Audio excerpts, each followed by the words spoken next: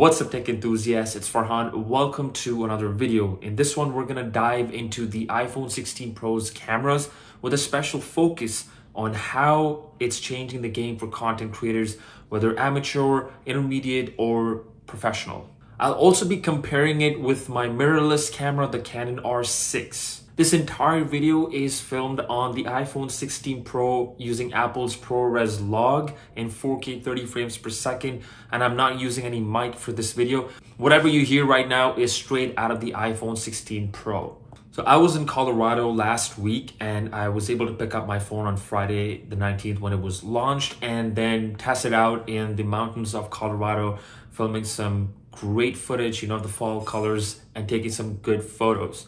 Now, as a content creator, my focus is on the cameras. I'm not really into the iOS setup and you know all the other functions, the bionic chip, etc. My focus is only on the camera, so that's what I'm going to be talking about. What's exciting about this year's iPhone 16 Pro models is that the ultra wide camera can now shoot 48 megapixel photos. Not only that, you can now shoot 4K 120 frames per second in Apple's ProRes log as well as the Dolby Vision HDR. My Canon R6 can shoot 4K up to 60 frames per second. It can't do 120 unless I shoot it in 1080p. However, something to note is that if you're going to be filming in 4K 60 or 120 frames in Apple ProRes log or HDR, you're going to need an external SSD in order to film that footage. As we all know, the ProRes codec uses up a lot of space. Here's some Canon R6 shooting in 10-bit C-Log 3 in 4K. Um, just for reference, the R6 can shoot in 20.1 megapixels full frame sensor. Now, when it comes to good lighting, both cameras produce stunning results, but the iPhone has a trick up its sleeve, computational photography. Those neural engines are working overtime to give you the best possible image in any situation.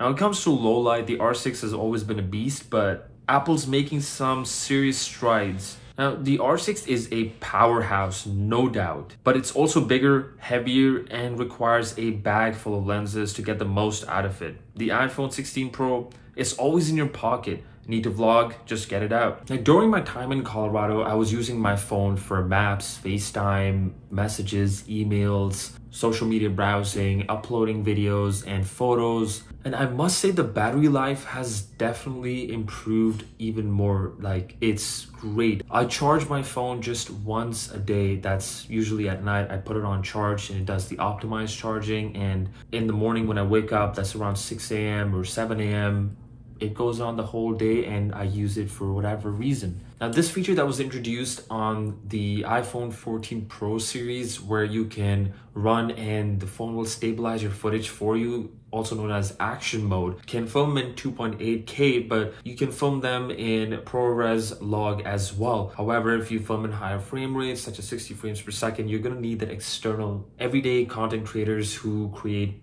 content for Instagram Reels or TikTok, they use their phones to record in the normal standard profile. And now they can shoot in 4K 120 frames per second when they need to get that slow-mo footage. So I'm recording this video using my Canon R6. I deleted the second video file from my iPhone thinking it was probably some random one and I also emptied the trash. Anyway, the cinematic mode is pretty good, but that blur still seems a little too artificial, unnatural. It's not the same that you get from professional cameras. There's a lot of stuff that goes on in the background of the iPhone when taking a photo, and they usually turn out to be a little sharper than you'd want. If you want complete control over your sharpness as well, for example, you're gonna have to use a professional camera. While the iPhone 16 Pro will be a powerful and dedicated tool for everyday content creators and will suffice for many situations. All these factors that I just mentioned will still mean that professional mirrorless cameras will still have its place for professional reasons. As someone who started off with amateur photography using his smartphone, started with the iPhone 6 Plus, um, it's a great camera to have in your pocket. It gets more and more powerful. But what we carry in our pocket is just getting more and more powerful every year. What I'm really happy about is that you're getting so many more options on your phone, something that you carry with you every day. If I'm going for a day trip somewhere, I don't really need to take my mirrorless camera with me. I can just use my phone to get some great looking footage and some good photos. Can you use your iPhone 16 Pro for something professional, let's say to get real estate footage? Yes, you can. Can you get some cinematic looking footage because you're able to record in ProRes log and color graded? Yes, you can. Can you get some good looking photos with it? Yes, you can. But does that mean it has replaced professional mirrorless cameras like this one? And there's a couple of reasons for that. The sensor size, uh, mirrorless cameras have much larger sensors than smartphones. And despite the advancements in the iPhone 16 Pro, um, it still has a smaller sensor. Larger sensors typically provide better low light performance, greater dynamic range, more natural depth of field, higher resolution potential. You have a wide variety of focal lengths with your mirrorless camera. But for photographers and filmmakers, you have more manual controls with your mirrorless camera, such as you know controlling your aperture, your shutter speed, your ISO. You've got more manual controls with your professional cameras than you do on the iPhone.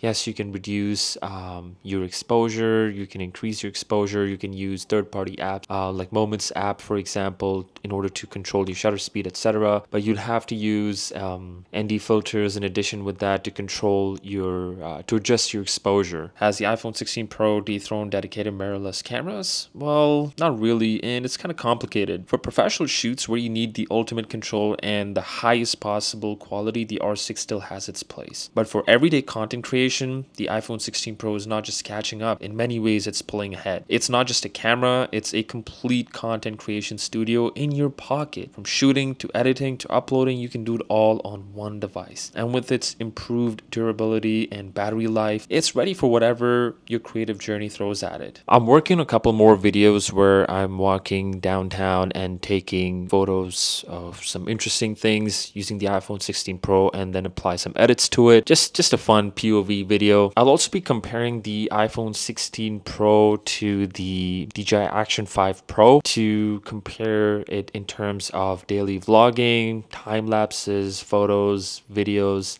and just making an overall comparison including audio as well. So what are your thoughts on this? Are you going to get the iPhone 16 Pro, Pro Max? What are your thoughts of the comparisons with the Canon R6? What are your thoughts on the phone in general? Let me know in the comments below. If you enjoyed this video, smash that like button and subscribe so you don't miss future videos. This is Farhaan and I'll catch you in the next one.